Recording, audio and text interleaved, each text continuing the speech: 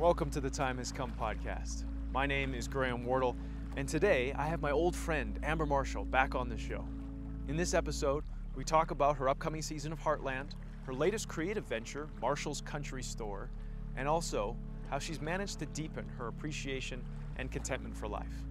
I really enjoyed hanging out with her and spending some time on her farm and just getting to know her better.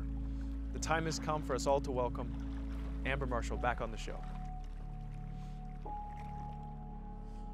You ready? Yeah. Welcome, everyone, to another episode of the Time Has Come podcast. I'm joined again by Amber Marshall. We're in Amber Marshall's neck of the woods now, so thank you, Amber, for having us. Yeah, And, thanks uh, for joining me here. Yes, it's awesome to be here. It's very peaceful, very um, relaxed, and um, your magic painting word, hmm your feeling that you love to feel, is contentment. hmm Do you feel content in this area?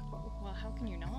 like, really. And I think that not a lot of people get the opportunity to be in a place like this and live here. Yeah. You know, they, they go and they want to experience it for the day, but then they have to go back to the hustle and bustle of life.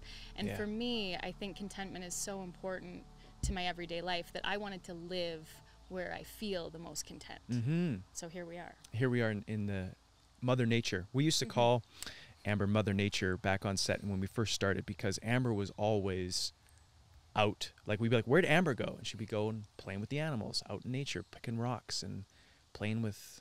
Bugs. Around. yes. So Amber, the last time we chatted was January of 2021, hmm and some things have changed since then. Yes. The world has changed. So how has Amber Marshall changed over the last 18 months? You know, it's funny. I think that I've changed less than a lot of people during this time because my life hasn't really changed. I mean, look around. You know, there's there's really nothing to to stop me from living my everyday life. And uh, I think that being out in nature, you have a grounding that comes with that, right? Mhm. You're just out with what makes you feel the things that I think we're supposed to feel, as Mm. opposed to when you're in the city and there's all of these rules and things that come into effect, you feel like you have to obey them or abide by them because you're all in this small area together. Whereas out here, I mean, it's it is what it is, and my life really didn't change at all. So I don't know that I have really changed. What have you learned? Have you learned anything over these last 18 months? Maybe about life and or the society at large. I I've learned a lot about the people around me. I think Mm. that that is primarily what these last two years have taught me is that people are all wired differently. We all think differently. And I think that's why some people love the city, some people love the country. Mhm. Because there are I have friends that live in the city and they love it. And they say, "How can you live out there? You know, there's so much work and you have to cut the grass all the time and you have to like there's, there's all these chores." And to me, I think the, the opposite. I think, how do you live in town? You must be so bored. Like, what is there to do? And so I think it's a different mindset. But in these last couple years, when we were in a way isolated, you didn't feel that out here. I, I don't Mm. feel isolated out here. I never have. I feel Right. the opposite. I feel very free and very just, it's peaceful. I feel contentment, like we talked yeah, about. yeah. And so when everyone went into lockdowns and masking and all this, I didn't have to do that. I'm out here. I mean, Yeah. nobody's telling me what to do. Nobody's saying you need to do this, you need to. And so I can't say that my life changed at all. And uh, to go back to asking how the world kind of changed and what that what I learned from that, I think that it's so important to stay true to who you are in your own beliefs. Because I think there was a lot of people that were pressured into something that they didn't want to do, they didn't believe in. Hmm. And I don't agree with that. But I also understand that when there's a lot of fear in the world, Yeah. and if you don't understand that fear, then you're going to just do whatever you think is right. And that's usually what people are telling you if you don't know it yourself. Yeah. And so for myself, I, I just kind of went, you know, there's a lot of fear that's unnecessary, and I'm just going to keep my distance and enjoy my life here. And I don't need to be a part of that. Mm-hmm. So I think what I learned was just staying true to yourself is so important and to your knowing what your core values are and beliefs are and not allowing someone else to tell you what they are. Yeah, and I think that's where fear comes in. When you're scared, you move into that fight or flight thing, and you Mhm. want someone to tell you what's where you should go. It's the exact you know what with you should do. Yeah. What do you think a join up is? You know, you have these horses that are maybe terrified of people. You take a horse, let's say, out of the wild, horse that's never seen people before. You put them in a round pen and all they want to do, you look at all their signs, all they want to do is escape. Their eyes are wide, they're looking to the outside, they're running around as fast as they can. You're sending them out, and there's a point when they finally say, I'm scared. I can't go anywhere. I can't do anything about this. I'm going to soften and give myself to you. Please just tell me what to do. And there's that moment when you're running a horse around and you'll see it. Their head's turned out, their eyes are wide, they're running around, they're scared. Then they finally say, Please, I'm tired. Tell me what to do. And I think that's the same. Like I mean, animals and people are they're on the same page of instinctual. We have an animal nature. Yeah. and so that's that's what happened. It was these people that were running around, and and I'm going to compare this to animals because that's just what That's I know. what you do, yeah. but it's it's the same philosophy of of a, a horse's mind to a person's mind, and they're saying, "I'm trapped. I'm scared. I can't get out. Tell me what to do." Mm. And then they soften and they just follow who that leader is. But if you don't have the right leader, that's or also they have an ulterior agenda yes that maybe is not in your best interest. That's that can be very harmful. Yeah. So it doesn't matter what the situation is, you can always control with fear for the most part. Yeah. And there's some horses that they are very centered and grounded and they will come in on their own terms and they're not going to say, "Okay, I give up." And it's the same with people. You know, there's Yeah. there's people that are Yeah, they can fall into that and, and move in that way too. Do you find, did you find some of your friends, most of your friends are out in the country though, are they? Mhm. Do you have any friends that are in the city that moved out to the country that were like, I've had enough of this? I do know. I see. It's funny. I've over the years, I think that you gravitate towards people who are very similar in the way you like to live your life. Yeah. So I can't say that I have a lot of friends that live in the city, but the friends I did have in the city twa- like, wanted to be out in the country. As soon Yeah. as this hit, they were like, you know what? I just this is enough. I'm feeling trapped. I just want to be out. And so I had a lot of people that would come out and just hang out here for the day Yeah. and be like, yeah, I just need to get away from all of that. Yeah. That's what I found is that over these past uh, 18 months, I've always wanted to live on land and have a garden and, and just sort of like very similar to your style, but probably not with so many animals because it's a lot of work. It's a lot of work. But um, but even more so now, it's just like, oh yeah, like I don't need all this stuff. I think it'd be really wise. I just feel this like urge in my being of like, grow your own food, be mm-hmm. self-sustainable. Mm-hmm.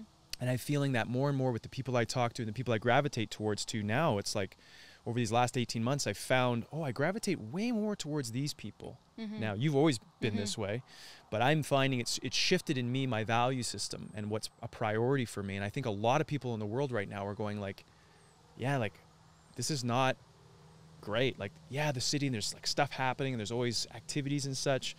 But really when it comes down to it, I want good people, mm-hmm. food, shelter, and like friends around me, you That's know, your like basic needs as a human. You know, we need to have people around us that lift us up, Yeah. as opposed to people that bring in a negative energy or an energy that doesn't match ours. Because I'm not saying that if you live in the city, you have a negative energy. Yeah, yeah, yeah. No, That's no, no, not what I'm saying. But you have to match your energy in order to be content. So Mm. if you're, and I know, I do know people that they thrive off um, not just excitement, but that kind of adrenaline rush Yeah, yeah, and, yeah, and, and just the fast paced life. And I thrive, and the way I recharge is by this by Mm-hmm. walking out by myself. My favorite thing to do is just go after work, sit in a field like this by myself, and just take it all in. And that's how I recharge my batteries. But there are people, and I'm friends with people, that they need to be right downtown and go out to, you know, a happening club and that kind of thing to feel themselves. mm, And so I think that that's that's just where everybody's on their own journey. everybody's on their own journey. Yeah. Yeah. Let's talk about um, Amy for a bit. Let's talk about Amy's journey in season 16. You're in the middle of filming season 16 right Mhm. now. Can you share with everybody what's Amy's inner journey, her her spiritual evolution For season, for season 16? I think Can you give everyone a sneak peek? Because I know probably there's a lot of Heartland uh, fans watching the show. So, Mm-hmm. um, do you have any insights for everybody about what's Amy's journey? I think fans have been they've kind of been on this emotional roller coaster with Amy for the last few years because as you know, Ty's departure Mm-hmm. caused a lot of emotional distraught, not only for the characters on Heartland, but for the fans of the show as Yeah. well. And so it's a very delicate journey on the writer's part because they don't want Amy just moving on and jumping into a new life and that sort of thing too. But it's also that fine line of this is a television show. This is a drama. We still need there still Stuff needs to to, be stuff happening. Yeah. Otherwise it's it's kind of boring. Yeah. So I think what we really wanted to focus on was Amy's journey as a mom because that was is her most important thing in life and being able to balance what she loves which is working with horses and having her daughter involved in that too so we have some really um, some moments that i'm really proud of so far that we actually just shot last week that have amy and lindy working with horses and that's what i always wanted to see for that those characters because we never really got to see amy's past growing up with marion and Ah, but, right. but really that's what marion would be doing with amy right from you know a young kid Mhm. we would have seen um, amy in the round pen with marion and her teaching and, and we hear about it. We hear the stories that amy always says well my mom taught me this or my mom wrote about this and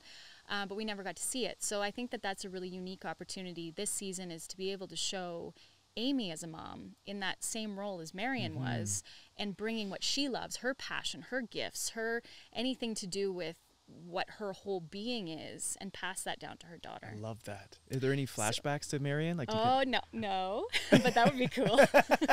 that would be cool. Hey. it's yeah, and I think a series that goes on this many years, flashbacks can be hard to have a continuity with because hmm. if you're Oh, yeah, yeah, yeah. reshooting a flashback, you have to be consistent with the actress who played Marion, but then to find someone who looks like that actress early on, and then same with young Amy. Every year, if we did flashbacks of young Amy at seven, well, the actress that's going to play young Amy is going to be getting older every Yeah. year. So it can be a challenge. Um, but I just love, I love how enthusiastic the twins are. So the twins, Ruby and Emanuela, who play Lindy, they just are eating this up and they love it. And I'm that makes me feel really happy because I, it it just wouldn't be the same experience if they were like, I don't want to do this, you know. Yeah, yeah, yeah. It's but they love the horses. The biggest thing I've been working on with them because they're not farm kids, they're not horse girls. They come out here and they hang out with my horses, but they get so excited when they see the horses. And anyone who's around horses knows you have to have a very level and calm energy for the horses to be comfortable because they read off your energy. So if you're jumping around and, and screaming and Yeah. running, They're they're, not out. comfortable. Yeah. And so I've been really trying to work with Ruby and Emanuela and just say, okay, we need to calm ourselves. We need to be Mm. quiet. And it's kind of it's unique to the show because Amy's teaching Lindy and I'm trying to teach, Teach these the girls. girls. and it's it's really cool because I can take that into my character and be like, oh, so when I approach the situation, I did it this way, and so when Amy's Mm-hmm. working with Lindy, I, it's it's very similar, Mhm. and it's almost real. It's happening in the moment because if I tell the character of Lindy something, I'm actually telling the girls like, no, we need to be nice and quiet, and because Yeah. they might be jumping around and screaming and yelling. Yeah, yeah, yeah. Um, so with kids, it is hard because they have a very just energetic personality.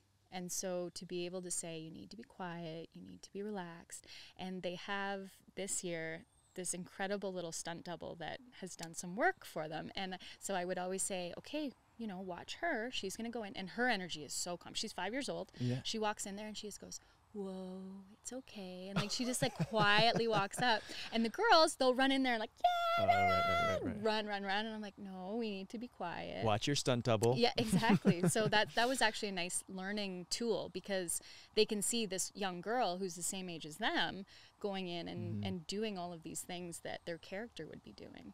Awesome. Uh, so that's been really fun. So as far as a season journey, I still don't know what's going to happen the Okay, whole season. okay. So I actually can't give anything away. Okay, okay.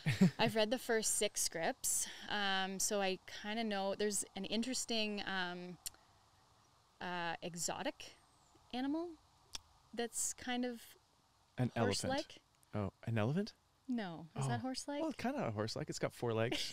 that is true. so a dog is horse-like, cat is horse-like. yeah. Okay. I would love an elephant, but they don't have elephants in Canada. We don't have elephants, do we? I'm just gonna take a deep breath. Do we? We don't have. Have you ever been to the Calgary Zoo? Yeah, but like, yeah, yeah, no, I know, but like not natural elephants. Oh Can't wow. get natural I don't even know what to say right now. No, I know. We're just I- gonna pretend that that didn't happen. what was I thinking about? Well, you yeah, need to no. spend some more time out here. yeah. Go Um, for a walk, see the elephants grazing. I guess in my mind I was thinking like, like yeah, a zoo, but like you couldn't. Saskatchewan has native elephants roaming the prairies. I was thinking like you can't get. Could you get animals from a zoo on the show? yeah, I'm sure we could.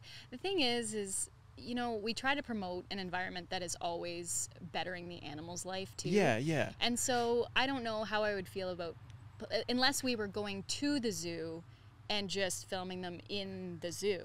That's kind of what I was. Have, yeah, that's kind of yeah. what I was thinking. It was like I know that there's zoos and stuff, but we couldn't. You couldn't take the elephants out of the zoo and put them in like a scene and be like, oh, there's a problem with this elephant that's being mm-hmm. in a storyline. Maybe I didn't think that question through too much. Okay. It's okay. It's good. It happens sometimes. But there is there is some uh, a unique animal that I know of. There's also okay.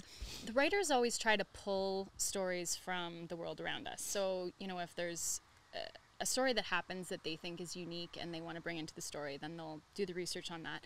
So yeah. we know that there has been some strange weather patterns in all over the world, really. But yeah. in, in Canada, in the last couple years, there's been fires, there's been floods, there's been all these types of things. So there is a natural disaster that happens that's going to be quite oh. intense, and the whole town has to come together. And um, and Lou is still mayor, so she has to figure out how to structure everything, to, work yeah, it out, figure it out. Um, and so and and just some behind the scenes stuff. Everyone knows that michelle morgan is about to have a baby. And so it was it was one of those things where planning and scheduling mm. is very difficult when it comes to because lou is not pregnant in the show. Oh you gotta shoot so around it. we've done this before back in season three four five season seven. One of the seasons of heartland. Sometime in the lou, past. Lou was pregnant uh, or sorry michelle was pregnant lou was not pregnant. And yeah. so it was it was done with large fruit bowls in the foreground and things like that. Yeah. So um, we've done something similar this year, and then we've also given her a few episodes off, of course, to have her child, child and yeah. um, take some time off. So it's it's always hard. We never really think about from the writer's perspective of having to deal with all these different challenges, right? When when we look at a show, we're just like, oh, why did they do that, or why is that character gone? Yeah, yeah, or yeah. Why? There's so much there's, behind the scenes. There's so many things that are involved that yeah. the writers. So the writers may have done a, a beautiful arc for the season for the character of Lou. And then they go, okay, now Michelle's pregnant, so we need to give her a couple months off. We need to do this. How can we do that? Yeah. So that's why things happen sometimes in television series that just confuse people yeah, because yeah, yeah. it's it's just that way of dealing There's so many moving pieces. There really are. And like sometimes for the people that don't know, behind the scenes there's many, many people scheduling and mm-hmm. planning and then adjusting when an actor mm-hmm. can't make it or they're sick or Because there's also actors on other projects. And other projects. And so and they're not I mean, I'm the only local person to this area. So we're flying actors in and out all the time, but if they book a job in Vancouver or Toronto or, or wherever it might be, we have to schedule around that. Yeah. So it can be a bit of a challenge, a and bit, that's why a bit of a challenge. A bit of a challenge. uh, they do it, and they do yeah. a great job of it. But it is always something to think about and, and to mm-hmm. plan for. Is there a premiere date yet for the new season? I, I mean, the fall. I don't even know when it is. I probably should know, but it's typically yeah, it is the fall. Typically so it's fall. typically the end of September, early October. Okay. So I would guess yeah, guess around someone there. Mm-hmm. Stay tuned for that. Mm-hmm. Put that in the show notes. I'm sure we'll have some mm-hmm. some more info when this episode comes out. Uh, Amber, you have a store that you've just opened up. Mm-hmm. What was the inspiration behind that? Where did that come from? oh, let me tell you, I like to do spontaneous things. Yes, I know. and I don't necessarily think them through. I just say I'm going to do this and I'm going to do it well, and it always works. Yeah. And I think that that's maybe why things work because I don't ever say, "How am I going to do this? This is a bad idea." What none of that stuff. Okay. I just jump in both feet and say, "Okay, we're going to make this work." What makes it something that you're going to do versus something is it a feeling you're just like I'm going to do this? Is it circumstance? No. So I'll explain a little bit of the backstory on this. So I've always loved real estate. I like buying and selling properties. Um, I have just always had residential properties and I rent them out. And then when the time comes, I want to sell them. Markets go up and down. I decide to do that. So this commercial building came up for sale, and I thought, I've never had a commercial building. That's something I'd like to. Okay. Seems like a natural progression onto my real estate pro- portfolio. Mm. And so I purchased the building with thoughts of the initial um, renters staying in there it was a diner at the time and they seemed happy and i thought okay this is great i will have the diner continue and i will just be a landlord like i am with my residential buildings And there was a little um, suite, like apartment upstairs that I thought, okay, this is great. I will completely reno this because I kind of I like winter projects. I like something that I can just Get your dive hands into. dirty with. Yeah. so I went into full reno mode and I was like, okay, I'll, I'll clean this up and that will be my project. So I got that done and it was great. And then the tenants came to me and said, you know, COVID really hurt our business and we can't renew our lease. And I went, oh, okay. So that plan that I had has stopped, Yeah. but that doesn't mean I can't rent it out again. So then I got thinking, okay, well, maybe I'll put it up for rent. But in the meantime, I had loved that building so much that I kind of, when I was renovating the upstairs, I was thinking, you know, that basement or that main floor would be such a great store. It's so cute. It's hmm. an old heritage building. Like, it's got so much potential. And so, as you're doing things, painting walls, whatever, like, I'm thinking about it. You're dreaming about it. And it's that's the thing, you know, when you mm-hmm. start thinking about an idea, and at that time I didn't think it was going to happen anytime soon because I figured the current tenants were going to stay in there. So I'm just thinking, I'm like, oh, but you could do this, and as you're painting, you're like, yeah, you could do this. And so then I got thinking, well, if I do rent it out to the next commercial tenant, usually a commercial lease is six years plus, right? So it could be six to 12 years or more. So I'm like, well, what am I going to do after Heartland? If Heartland ever ends, what's the plan? And that's when I was renovating and painting. I was like, well, it would be a really cool store and it would be fun to open a store and all that. And so then I finally just said, you know what? Instead of trying to find a new tenant that's going to be in there for a decade possibly, why don't I just jump on it and do it? Mm. They said the only thing that ever holds you back is believing that you can't do something, that you can't follow through. And it does take it takes time, it takes dedication and it takes money. And I know that all of those things can be a struggle mm-hmm. because not everybody has time, money and and just the the passion to put into it. And so it was just one of those things that I said, well, I have 2 months until Heartland starts. Let's do it. Let's make a store in two months. Yeah. And so did a full gut of the building. So ripped out all the floor. There was in the front, there's old, um, really old, beautiful hardwood floor. So I had that refinished because I didn't want to rip it out. But I, all the other floor was decaying and rotted and gross. Ripped all that out with help. I didn't do this all Yeah, by yeah, myself. yeah. Um, but I was there every day and I was the general contractor for everything. So if I needed someone to come and refinish the floor, I found someone for that. I did a bit of painting, but then I finally was like, I don't have time to paint this building by myself. So I brought in a painter. Um, we had a friend of ours build these beautiful cabinets, all the shelving, all of the. I tried to enlist a lot of help from my friends because I have a lot of very talented friends, and I thought that's Why the not best way. Yeah. Yeah. And so it was fun. Like we would go in and we would crank the music and we would just be doing different projects, full reno. In the meantime, while we're doing this, every night I would come home and start ordering products because if the store is opening in two months, Yeah, you it. you don't want to open your doors with nothing on the shelves.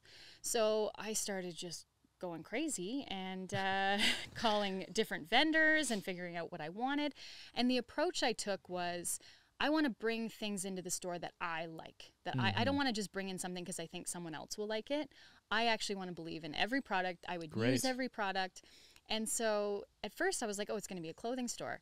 But then it kind of shifted into a general store type thing where there's, I always say it's the perfect place to get a gift because I would, anytime I saw something I liked and I liked a vendor, I just went for it. It didn't have to be in that box of, well, this isn't clothing or this isn't an accessory. Um, so I've got jams in there, I've got candles, I've got signs and home decor and artwork and you know like all that kind of stuff. okay. So it's it's a little bit of everything, and uh, and it's been a lot of fun, but it's also been very time consuming. What w- what has been the the challenges that have come up, and what have you learned through this process? Because you know, for maybe a young woman watching right now, that's like, I would love to open a store. I want to start a business, you know, and she's, but I don't know how anything about it. Like, what advice can you give them, and what challenge did you did you face that you're like, oh, I learned this about myself, or I would share this with somebody else, so they wouldn't have to go through this as well. Um, managing people was hard, um, and I have great, great staff, great people in the store. But for me, I'm a very hands-on person. I like to do everything myself, and so it's hard for me to give up the reins, so to speak, and say, okay, now you can be in the store and you can be selling things and, and picking things out. And that was the thing too is i wanted to make sure because up until this point and going forward i still will be i have ordered everything chosen everything in the store. It's only been me hmm. And so then i said okay well now i'm back to work full time i work 12 to 14 hours a day so when reorders happen and different products come in that my staff wants i have to let i have to give up the reins and say okay you guys can go forward and make that decision. And that has been a challenge for me. And that's not to say that I'm not still involved 100% on those decisions but i'm now saying okay you guys go and you look for new vendors and if people come to you you kind of just decide if that's going to fit in the store or not mm-hmm. and uh, and so i think that's been difficult for me too i like to take on sometimes more than i can chew so challenge yourself yes, it's not a bad thing it's not but you can burn yourself out yes so I think that was a little bit of a challenge with doing all the renos at night, ordering in all the products, and then as soon as Heartland Prep started, I was still balancing all these things, and then I was in meetings and that sort of thing as well. And you're producing Heartland. Yeah. And it's that's one of the things that I felt not that I have I don't want to say I've slacked on any of my responsibilities, but that is the one area this year that I was not as involved. And I think it was okay. I don't feel I don't regret anything that I did, but since I was so hands on with the store and everything going here on the farm because I'm also still feeding animals every yeah, day yeah, yeah. and having the vet the vet the vet having the vet out the farrier out all of these different people that help me take care of these animals.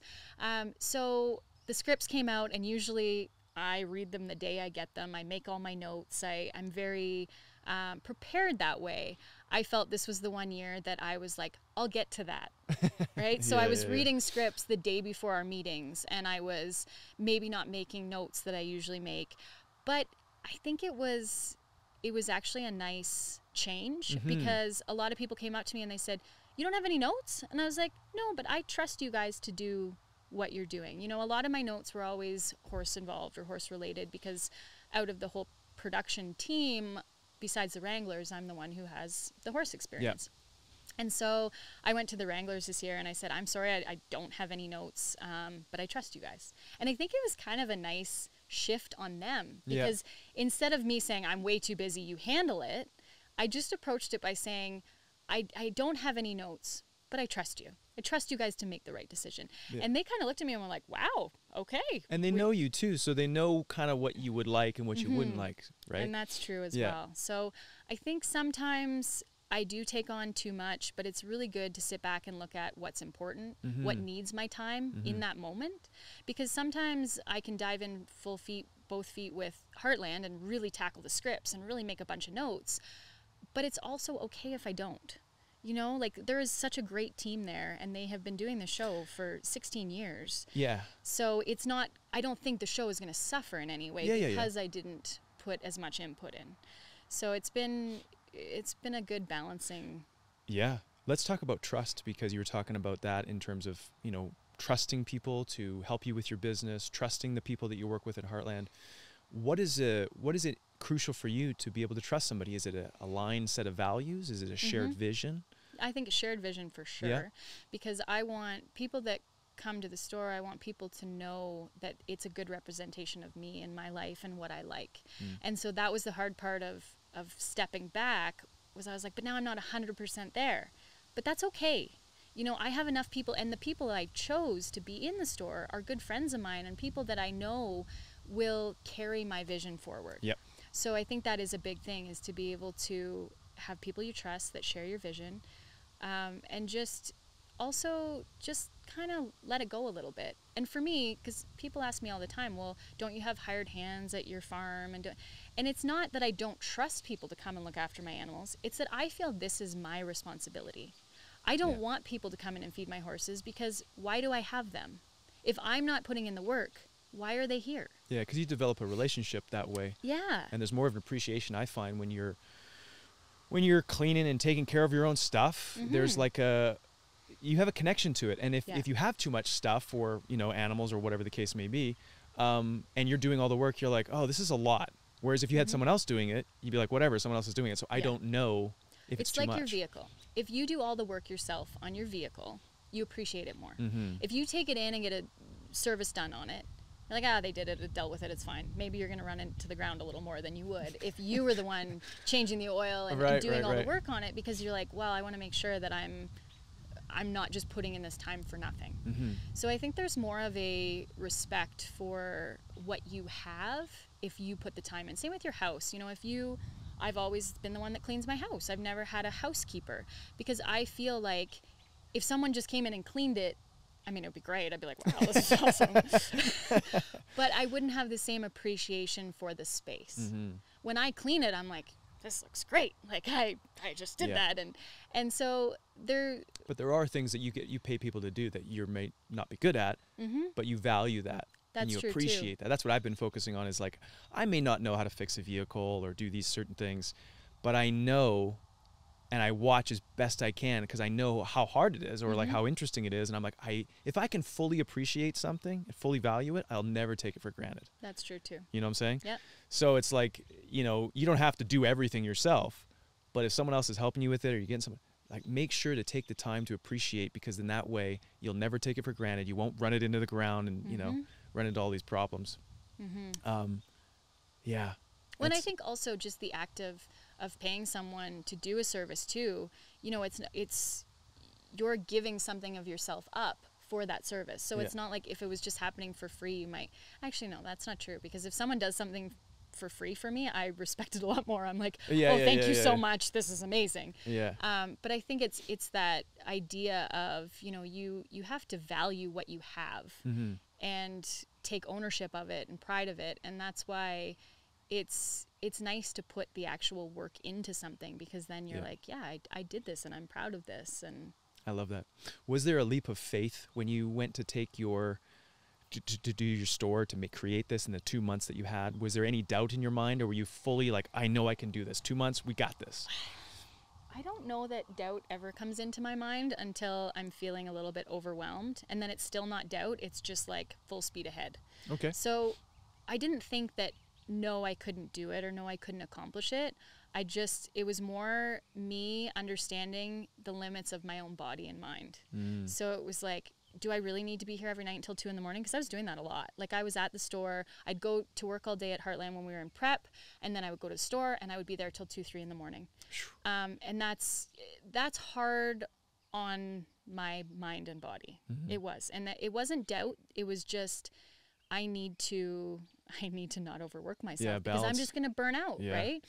And the funny thing out of all of this is every year when I come back to work at Heartland, it takes me a couple weeks to get my mind back into the craft, back into what we do, because I feel like my mind has gone on a vacation a little bit. And this year, I didn't have that at all. Day one, my mind was as mm. sharp as it's ever been. It was almost like going to work was a break. Like, if that makes sense, like it was, I'd been so busy, so busy, and I've, I'd made this deadline of, okay, we started shooting on June 6th. June 6th, I have to put this store aside and I have to put all of my mind into Heartland. Hmm. Day one, I surprisingly knew all of my lines. I didn't have any, like, there was no foggy moments, which I usually have the first week or so, like getting my brain back into it. And I think it's because my brain had been on overdrive the entire winter. and it was like, Yeah. So you went to the the regular pace as opposed to overdrive pace. Exactly. Yeah. And it was just all of a sudden like, oh, it feels great to be back Mm. at work and everything is just so yeah, I think that it's it's never about doubt in my mind. It's just about can I can my mind and body handle everything Mm. I'm taking on? Do you have a moment in your life recently that you've had to take a leap of faith, or there's been a challenge that you've had to trust yourself?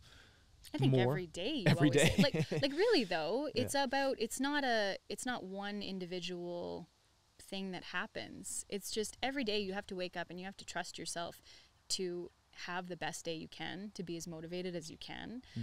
Um, but that's not something I ever think about. Like I, I don't wake up and be like, okay, I'm gonna do this today. It's just something that happens. Like you just you just do it. And I think for myself, the less I do, the more I question what I'm doing. Ah. When I'm always busy and just full speed ahead, I don't question anything because I don't have time to question it. And that was a lot of during the pandemic. I know a lot of people they were questioning a ton of things and I said, "You need to be busier." You know, like you need to just go and do something that fuels you forward because it, I felt like it was just too much in whatever way it was. You know, if they were thinking about this or they're thinking about that, they were still thinking about it. But they're also busy with things. Maybe you were busy with things that you care about. Maybe people were busy with things that they didn't care about, and they. That's stopped to think about that and be like, maybe these all these things that I'm busy with, Mm-hmm. I don't really want to do. That's true too. You know what I'm saying? Because your lifestyle is very oriented, you know, for you and who you are and your sort of contentment feeling. Mm-hmm. And so for you, being busy is like being connected to that always. So you're not worried and thinking, oh, should I do this? Should I not be doing this? Because it's That's aligned true. for you.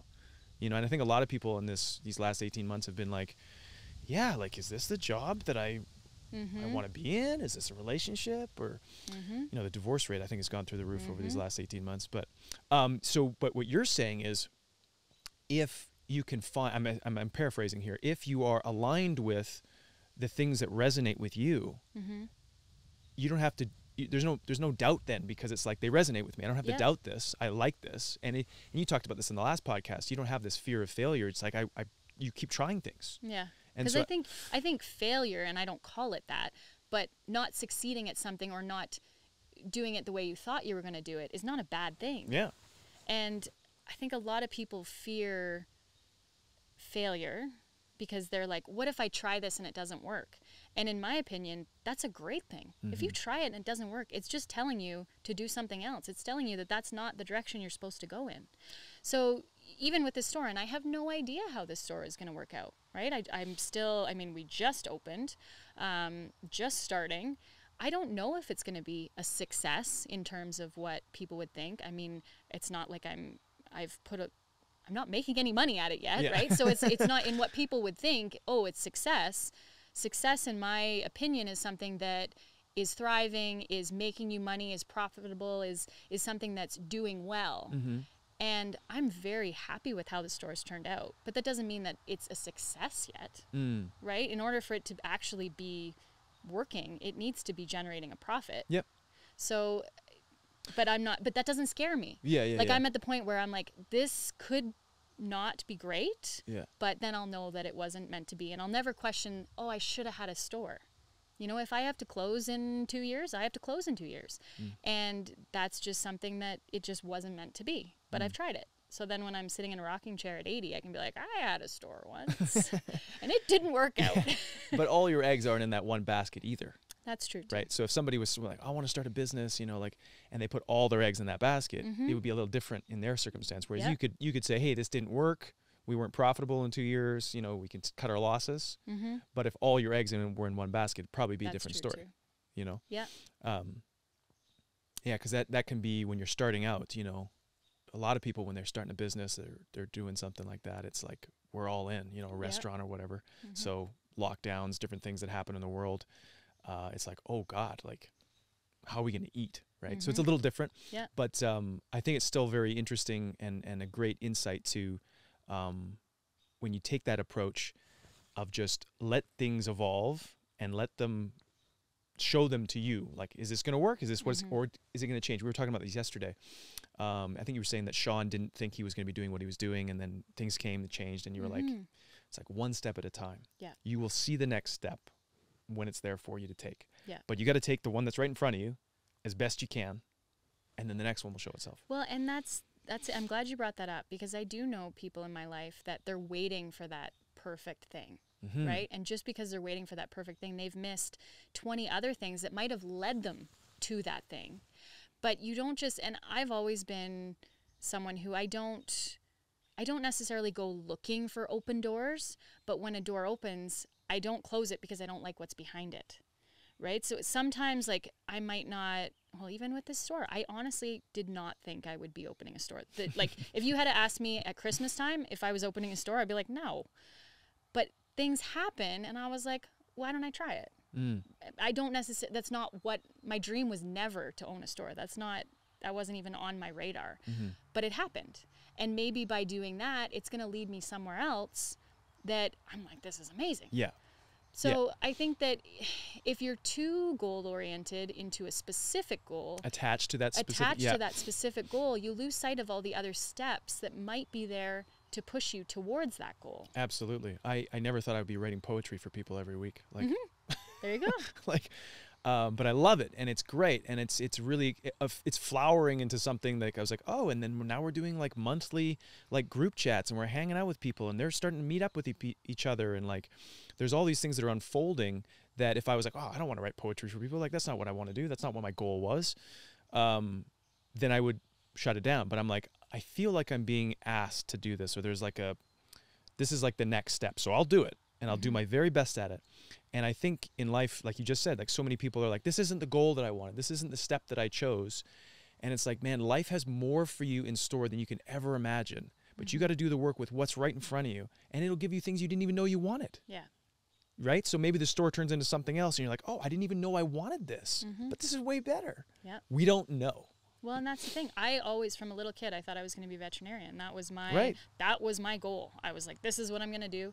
Um, but then I took those little steps. So I, I, I was like, if this is what I'm going to do, then I'm going to start working at an animal shelter a wildlife center, a kids horse camp, all of these different steps that weren't a veterinarian. Mm-hmm. It's not like I said, no, I'm not working at a kids horse camp because I'm going to be a veterinarian. Like I did all these other little steps so that it would propel me towards that dream or mm-hmm. that goal. Then I started working in a vet clinic, and it wasn't until I got probably three years under my belt at the vet clinic to realize it's not really what I wanted to do. Mm. But you have to go through those steps. You have to go through those steps. Because yeah. if I had just been like, this is what I'm going to do, I'm going to go to school now, and I go to school for eight years to become a vet, and then I get out and I start working in a clinic and go, this isn't what I want. Yeah. It's, and I'm sure then you go and you find what else you yeah. want. But after you've invested eight years of your life and money into vet school, it's harder to give that up. So I always encourage people too, if there's something that you think you want to do, try it out yep. in a small scale first before you dive into it. So if there's if you think I'm going to do this or I'm going to do that, try it out. I agree. Take take take your time with it. And um, I always like to tell people tune in or or take a nice long walk in the woods or get in tune with your heart because you very often you'll feel it like in a still mm-hmm. quiet place inside like this doesn't quite feel right for me or i feel like i want to do this but i'm not quite sure how to yet mm-hmm. and i that's where that what i really want to encourage people and that's what this podcast is about is you know the time has come is tuning into yourself what has the time come for in your life and how do you find that that faith and that courage to take the leap of faith and try something maybe that you might fail at you mm-hmm. might you might not do the way what you want it to end up as, right? But like you said, it's just you just keep trying things and just keep staying in tune with whatever your your passion is or your feeling is. Of you know, yours is contentment, um, being aligned with yourself, and then you keep trying things, and eventually, you will find a door will open. You're like, I never thought about this mm-hmm. before. This is so great. So one of the other things I wanted to talk to you about, Amber, today was uh, your books. You write children's books. It's another thing that you started to do. so, do you yeah. think you'll ever make your children's books into like a little animated show, or do you want to stay with the the, the picture Again, books? I've never thought of that. Like, I've never thought of beyond that. Um, for me, one of my favorite courses in school was creative writing. That was like I loved that class, and I loved writing short stories and and different things like that. And of course, I love writing about animals. And I find that through children's books, you can be so animated and you can be, mm-hmm. you can, you can give animals that personality that we might not be able to do in, in a different way, right? So it's like children's books allow you to personify a cow, horse, sheep, whatever it might be, into this into the feelings that we have for those animals. So mm-hmm. my first book that I wrote was Where'd Cow Go? And it was just this idea of I always look out and I see my animals and I have a very strange grouping of animals. I have cows out with my horses and then there's alpacas and there's rabbits and they all just kind of roam together. Yeah. And every time I look at them, I, also be sitting out in the field, and in my mind, I'm creating the conversations that they have, where I'm just looking at them and being like, "Wow, they, they really have a sense of of family in a very strange, different grouping of animals.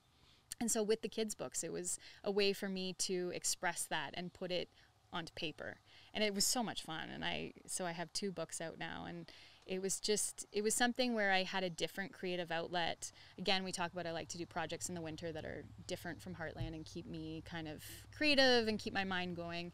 Um, so those those two books were my my winter fillers, and they were so much fun. Are you going to do more? I think so. Yeah. Um, no plans right now. I, again, I've been so busy, busy, with everything yeah. that's going on, but um, yeah, for sure in the future. Yeah, I think there's a need for quality kids content. Um, I don't know if you ever watched like um, the YouTube kids stuff uh, on YouTube. Sometimes, sometimes some of it's like really wacky, and you're like, "What is this?"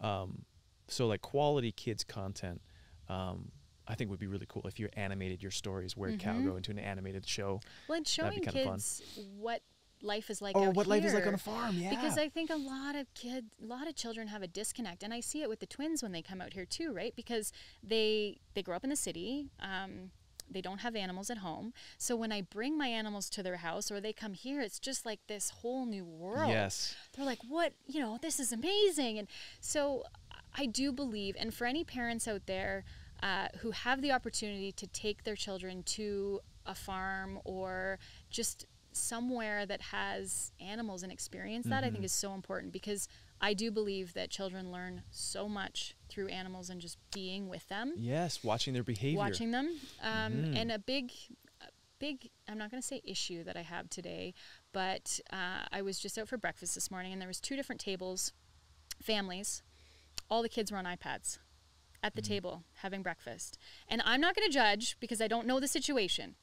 But to me, a lot of children have lost touch with being able to be outside and jumping on a pony or riding a bike or taking a stick and digging up worms or whatever it might be, especially during the pandemic because a lot of kids weren't in school.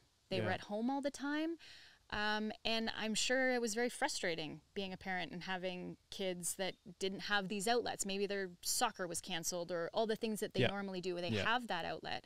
And I feel like in the last year and a half, the the screen use has Yeah. become so much more than it was, and I just I I worry about that because I think that kids, in order to develop and grow and learn, they need to be exploring nature. They need Mm-hmm. to be digging up those bugs, and that's just it's a part of who we are. Amen. I completely agree with you. Maybe I know with your, you know, you got so much time on your hands, but maybe you can open like an am- anim- Amber's Animal Farm and have like kids camps for like oh people- goodness, that would be so stressful. we talk about contentment, a bunch of screaming children, children. running around. yeah, yeah, yeah. Okay, maybe not. Maybe Um, be a TV show about it then. But yes, I think come explore my farm through the screen. yeah, then then they're watching the screen again. Okay, maybe not. Okay. but I'm just I throwing do stuff out there. no, I I do agree with that. That that kids just need they need outdoor time and being around animals is very calming. You know, a lot Yes. of parents will talk to me about their children that have ADHD or different um, attention disorders, Yep. and soon as they're with horses.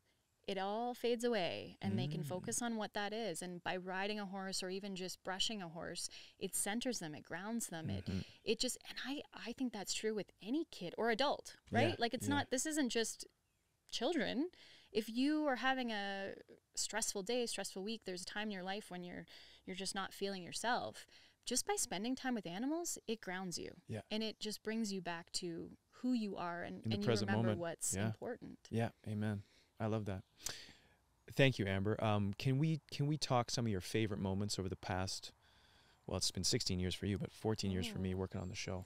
Has there been favorite heartland yeah favorite moments? heartland moments? I mean, I think we've had a, we've had many stories together, but it doesn't have to be necessarily Amy and Ty stories. But like, do you have moments that you kind of reflect back on, and uh, and like to think about? You're like, oh wow, because I was walking in High River the other day, and I was walking by Maggie's, and I was like, oh man, I shot that scene with Kerry James. We were going to this, we were doing that, and do you remember when you guys were going in the bathtub down the that's one of my favorite moments.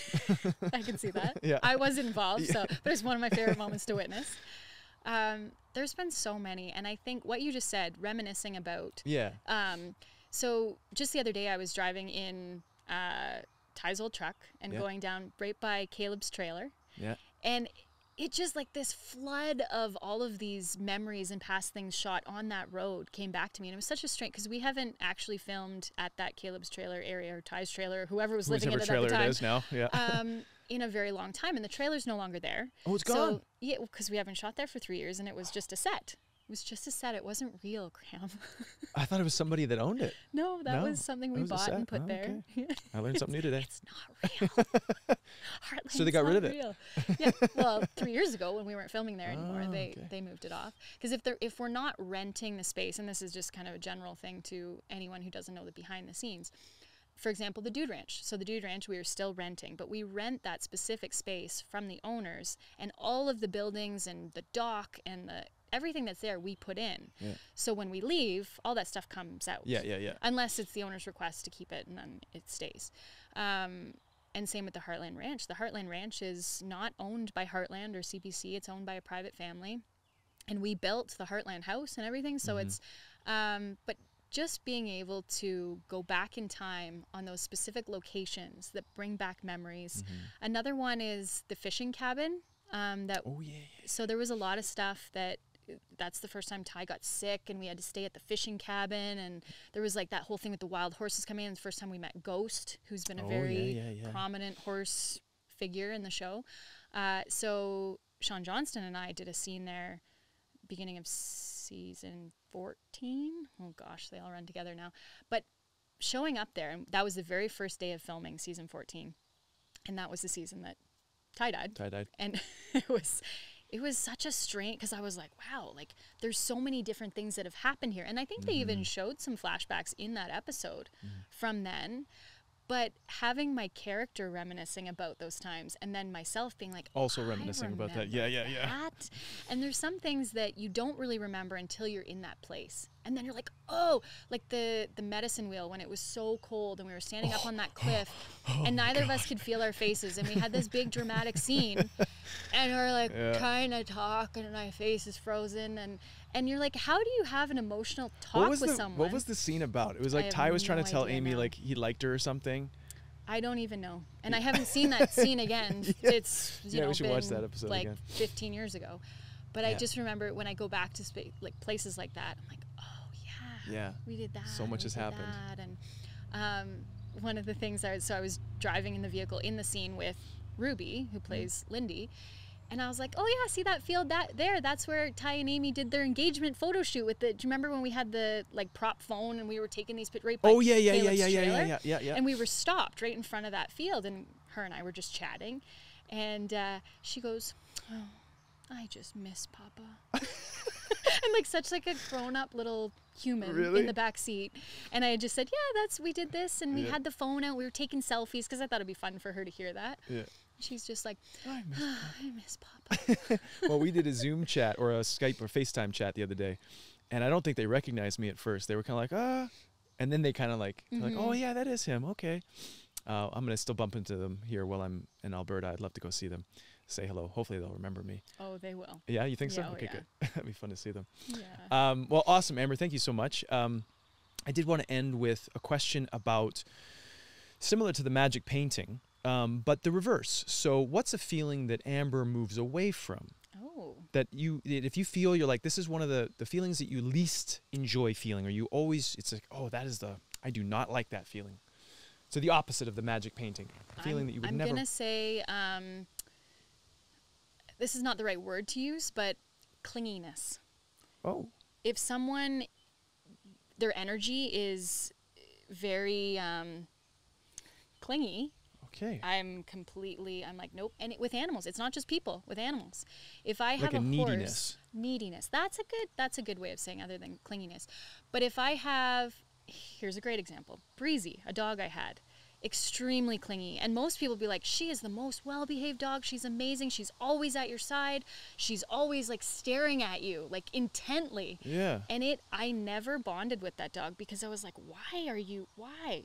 Why do you have this energy? Like, Relax. and and one of my really good friends um, loved Breezy for that reason. Like she was always like, I love how she's just always looking at me with these loving eyes, and she just like really cares about me. And I'm not saying that I don't like someone who Yeah, doesn't yeah, care about me, but they were so much better matched. So I said, Do you want her? Do you want this dog? Because she just wants someone who looks at her the way she looks at them. And I said, I'm not that person. I like to know that I can just wander off and be okay and Mm. not have someone like chasing me, whether it be a horse, a dog, or so whatever. you value independence. I value independence for sure. greatly For yeah. sure. And so if that that neediness comes in, it's kind of like ooh, like Yeah. I need my independence. I can't be. And I've noticed that with people in my life. I've noticed that with animals in my life. Soon as they become too needy or too clingy, I'm like, I'm sorry, I'm not the person to offer that for you. So with if it's a dog, Mm. But that doesn't mean you're a- not compassionate or loving.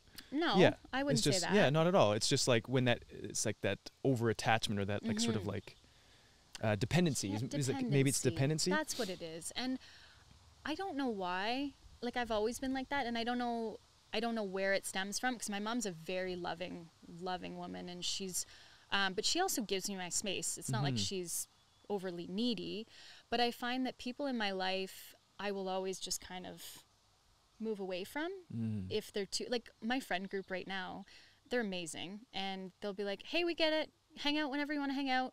Don't whenever you don't. We won't take it personally. Personally, yeah. Like it's totally cool." And I've moved away from people in my life, like friends who are like, "I need to see you. Where are you? I need to. I need to be there." I'm just like, mm, no. Like when the time's right and you want to come hang out, come hang out. But I don't want to feel like your life is going to be lessened if we don't hang out.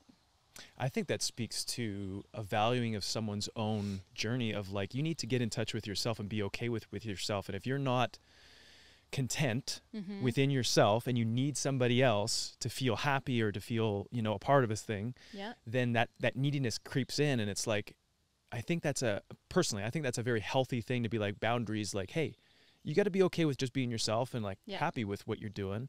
And if we're going to hang out, great. It's like a it's like a bonus. I- You don't we don't need to hang out for you to feel contentment or good or, or Mhm. these things. You know, you, it comes from within first. Yeah. I like that. I think that's really good. Um, and very often we get uh, attached to and needy to approval, social media, friends, activities, um, you know, job titles, whatever the you know situation is. There's lots of things that we use or society uses for that validation or that sort of like, okay, I'm okay. And I'm glad you brought up You know? social media because that's when I find I distance myself from social media is when people are saying, I need you to post. Why haven't you posted? It makes me Mm. not want to post because I'm like, nah, I'm good. Like, I post because I enjoy it. I post because I see something that I want to share with people. I don't post because I feel like I have to or, you know, it's just, and I, I just, and I have been so busy lately that I haven't been as active on social media. So I am seeing it more. And I appreciate when people want content. I do because I'm like, you know what? A lot of people don't get to see this surrounding Yeah. all the time, and I want to be able to share that. But it's also one of those things where I'm like, okay, I'll share it when I'm ready to share it. Yeah, because it's coming then from an inspired place as opposed to like I gotta post, I gotta keep my followers up, and I gotta keep my Mhm. and I've yeah, I won't engagement. do that. So Yeah. it's if I don't feel like posting, I won't post. And that's a fine line with social media because it is. It's like, but I'm I'm also not on social media because I'm like I gotta hit this many followers and I gotta. And right from the beginning, I remember when Craig Robleski actually talked me into Instagram. He's like, you should get Instagram. I oh, said, he was the one. he was the one. Blame him Yes. because you talked me into it. did I? Yep. I didn't even know that. Okay. Yeah, he talked me into it. And at the time I was on Facebook and I was like, you know what? It's already really time consuming. I don't want mm. another platform. But then he said, but it's it's great because you can just post something visual. You don't it doesn't have to be about Oh yeah. like it it's just you can just you don't have to say anything. You can just post a Just a picture, and that a picture says a thousand words. So it's I was like, ah yeah, that might be fun. I love photography, like I'll I'll try that out. And I've really enjoyed that platform because I find like I've never been a Twitter person. I've never actually logged on to Twitter. I have a Twitter account. yeah, you have a Twitter. but it just generates from my other, and I think Yeah. people know that. Um, so if you ever comment or do anything on Twitter, I don't see it. Um, I just, it's not, that to me is not a platform I like because that's just people talking and people having, as far as I know, because I've never actually. well, they po- you can post photos too there, but it's it is more of like a general town square discussion format. Mm-hmm. Um, And I'm not someone, I'm not someone who watches the news. I'm not someone who reads the paper. I'm not someone who really follows a lot of anything that's going on outside of my Yeah. farm. So I don't like those channels. I find that I just want to live my life as I'm living my life, and I don't necessarily need to know what is happening, or I don't. Maybe I don't want to. I don't know. Yeah. Well, I think it's uh, for mental health. Sometimes it can be wise to stay away from that stuff. Um, I mean, I try to I try to like see what's going on, but I know I can feel it too when I like watch too much of that stuff or I look at too much. Like the news wants our attention. These social media sites they want your attention. So hey, what are they going to do? And people unconsciously will move into that too. They'll post content to get your attention. So they'll mm-hmm. find that stuff that gets you angry or fearful or whatever, and they'll post that mm-hmm. because it gets more engagement. So it's like this unconscious downward cycle that if you get caught in it, it just drains your energy, and it's not healthy. And I think that's mm-hmm. really something we. Um, everybody knows this already and, and I think everybody feels this, but it's like, can you take action? Can you notice within yourself when you're starting to be drained by something and snap out of it Mm-hmm. and just put it down, go out and play with a duck. Mm-hmm. Like Amber, you probably play with ducks. I, I know you have a duck. Oh yeah. You have a duck. Yeah, your duck's awesome. What's your duck's name? You have a duck's name? You have a name for your duck? Sweet and salty Sweet and salty. um, yeah, because you know, you get outside, you get active, you do something different, and it's like, I think what I really love about you and your farm and, and the way you live your life is the value system and the priorities that you have is you've got it organized in such a way where your power isn't outside of you. You have contentment within yourself and you have responsibilities and things to do that are aligned with who you are and what you love to do. And you don't get caught up in like, oh, what if people don't, you know, think about this or what do they think about that or oh, what if this happens and what, you know, you've you've cleansed yourself. So I would assume your mental health is probably great because you don't consume a lot of this content that's online and all these different things out there, which I think is um, is a challenge we have in our society today. And, and, I really hope that we can move away from this and really cleanse ourselves like a um, the same way we do with diets and we we cut out the junk food. Mm-hmm. We really need to think of our minds the same way what we consume. Because social media is a junk food for sure. Yeah, and we're consuming it. Mm-hmm. And so all these things together, you know, that that creates our mental health, and we don't really think about it that way. You know, we we have nutritional things on the side of our food, mm-hmm. but when it comes to content that we ingest, there's no nutritional information that's, like this is full of fat, you know, mm-hmm. or, or mm-hmm. you know salt or whatever. So that's my metaphor of looking at content the way we consume mentally is if, if this was food, would it be nourishing? Would it be stimulating, giving mm-hmm. us energy and making us feel good or dragging us down? So, anyways, Amber, thank you so much for being on the show. I love chatting with you. I love being out here in your neck of the woods. Mm-hmm. Beautiful scenery. Is there anything else you want to share with people before we wrap up? I don't think so. I think we've covered a lot of great topics, and I just feel we all have that clock inside us that reg- how can I say this? Um, we all have that inner ability to know what's right and wrong and what feeds us and what doesn't and what makes us feel happy, makes us feel sad. And a lot of people push that away or they don't listen to it because there's conflicting mm. thoughts somewhere else. You know, someone else in our lives, whether it be the news, whether it be our significant other, our friends, whoever, are telling us, no, this is how it should be.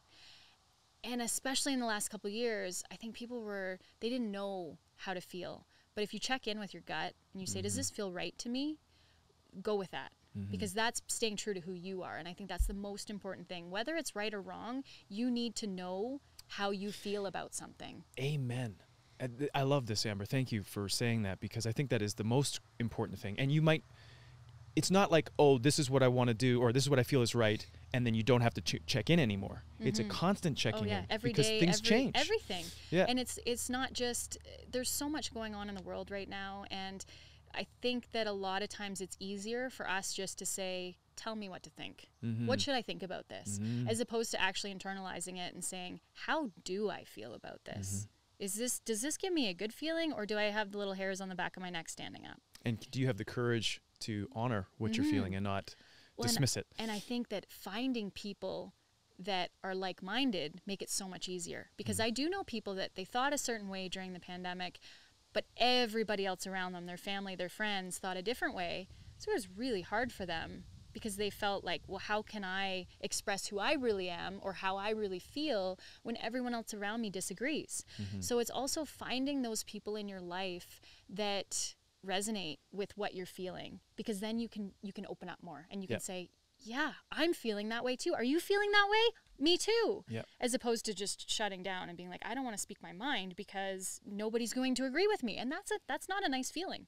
So i was telling my sister she lives out in montreal and i said you got to find people that uh, you know are on the same page with you that just vibe with you. And regardless of what's going on in terms of the world but like in life too yeah. you want to find people like you love living on a farm and being around animals. It's like mm-hmm you want to find people that resonate with you and you can still learn from and they have different perspectives and whatnot but you want to find those people to support you especially uh, in the situation in the world right now because if you are isolated like that you're the only one it'd be very hard to be true to yourself mm-hmm. and have mm-hmm. integrity when your family or your friends are all like you know you're crazy or you shouldn't think that way or mm-hmm. or whatever um, so tuning into yourself checking yourself continuously i think is um, you'll feel better you'll have more integrity with yourself you'll be able to sleep at night mm-hmm. and um, and to trust yourself and have that faith to honor yourself because you will never regret honoring yourself and having faith and having integrity with yourself but you will regret if you shut it down and you say oh whatever like everybody else thinks this way so i guess i will too mm-hmm. you know so um, beautiful amber Thanks, for being a friend. What's that? There's a song. Thanks for being a friend. I don't think it goes like It that. It does like that? Okay. Thanks everyone for joining us for another episode of The Time Has Come. We'll see you all next time.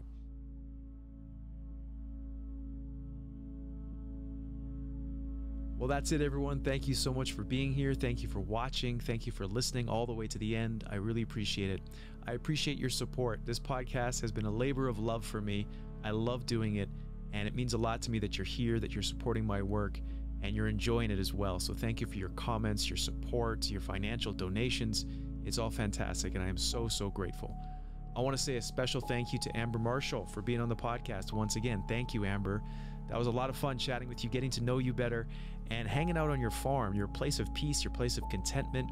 I really appreciate you, and it's been a great 16 years of friendship. We've known each other for a long time now, and I always learn something from you. So thank you again for being on the show. Kerry James, my friend, you're the best, man. You make this show possible. You've helped me get to the next level with this podcast. So I want to thank Kerry James for all his help and support in making the show happen and getting it out to you all. Thank you, sir. I want to thank Eskimotion for the use of his music. I use his song called In Dreams at the beginning and the end now to just kind of set the tone for everybody, get them in the zone. I also want to thank everyone who has already jumped on my new platform, www.timehascome.com. That's my new network, my new Time Has Come network. I've been spending a lot of time building it for you all, and I appreciate all of you who have already jumped on and are chatting with each other and sharing information and sharing posts and comments.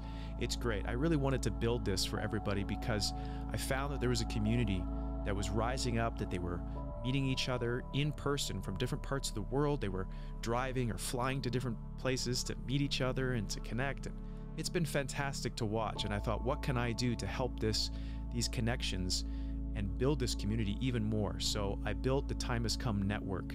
And that's what it's all about is sharing my podcasts and other opportunities and creative endeavors that I have with you all and really creating the space for everybody to get together and hang out in a digital place but my hope is and my goal is that these these digital worlds, this digital party that I'm building becomes physical. That's my focus with the Time Has Come network is to create a place for people to meet each other, but really get out, enjoy life, and encourage each other and have those real face-to-face connections and friendships and and experiences because that's what life is about. It's not about sitting in front of your computer and staring at a screen. it's a good tool and it connects us, but there's so much more to life. So I appreciate everybody jumping on the Time Has Come network. If you haven't jumped on there yet, that's okay. The podcast will always be free in audio format on all the major podcast players. You can still check it out there. I still got my social media. But if you do want to jump on the Time Has Come network, I'll happily have you there and I'll welcome you when you get there. So I just want to thank everybody for joining. And for those of you who are just listening to the podcast and enjoying from that position, much love and respect to you as well. That's it, guys. I want to say thank you so much. It is my birthday today. I'm going to go take some time off now and enjoy some sunshine. So, blessings to you all. I love you, and I'll see you next time.